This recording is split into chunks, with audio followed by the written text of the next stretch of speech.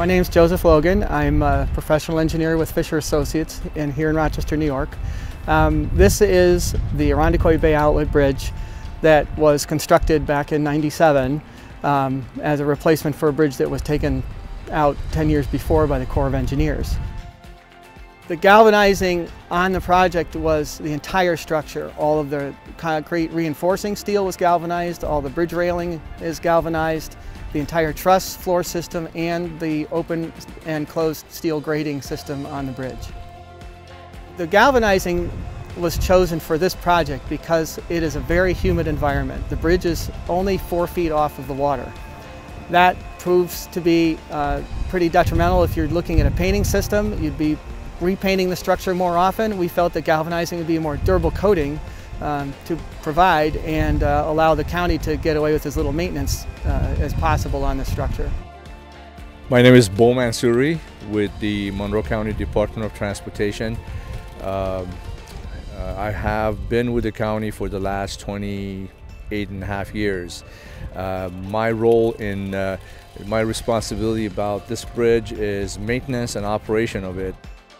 Uh, we had a concept to uh, put a coating on the bridge that would be long lasting and would be protecting the steel in a very harsh environment uh, near the lake with a lot of salt applied to the road for safety. Uh, so we wanted to, some sort of a coating that would last a long time and we, we didn't have to come back and recoat. So as a result, um, the engineers uh, uh, investigated various options and galvanization uh, was deemed to be the most suitable alternative uh, for the coating. We really landed on galvanizing for this project because of several benefits. One, we didn't have to go in and, and coat, uh, repaint the structure, maintain it. Um, the bridge is cleaned every year, so it allows the maintenance forces to evaluate the condition of the coating and as really the project has borne out in the last 20 years, the galvanized thickness still remains much higher than is the minimum required for new construction. So it, it has really proven itself.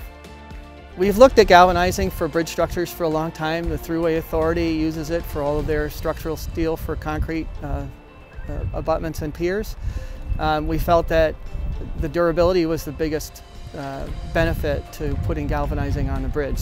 Looking at the project, how it's come out, if I was going to build this project over again, I would still choose galvanizing. We are very happy, as I've said before, with the performance of the galvanized coatings. It provides a durable coating that you don't have to revisit, uh, and I really think that painting is more of an environmental concern now than it has been in the past, and uh, weathering steel just doesn't work in this location.